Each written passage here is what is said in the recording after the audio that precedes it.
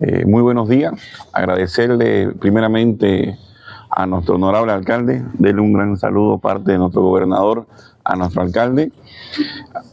Agradecerle porque venimos trabajando conjuntamente con el municipio y todo lo que es el Servicio Departamental de Salud, haciendo acciones no solamente en esta etapa de, de levantamiento de este estudio, sino que venimos luchando contra varias enfermedades y varias pandemias, tanto el COVID como también no ha afectado coqueluche y otras enfermedades más que nos siguen azotando frecuentemente en el municipio.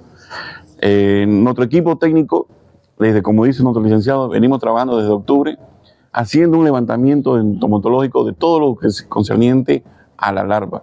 Sabemos que este vector trae tres enfermedades, que puede ser chikungunya, zika, dengue, en la cual nuestra población puede ser un poco golpeada por esta situación.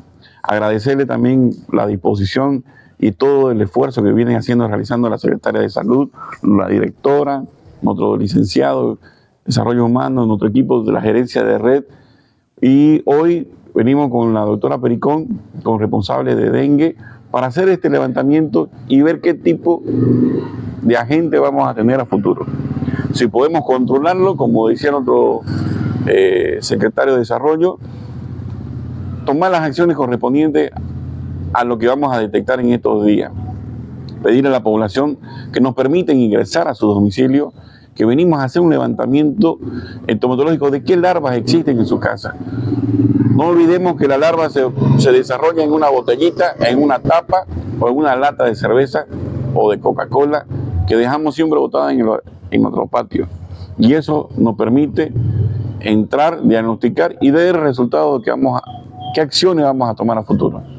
Es por eso que el municipio Porongo ha presentado uno en estos tiempos, en el, año 2023, alrededor de 1.200 casos con signos de alarma, con sin signos de alarma, perdón, que no han llevado a, mucha conectación a nivel municipal y 53 casos de, con signos de alarma.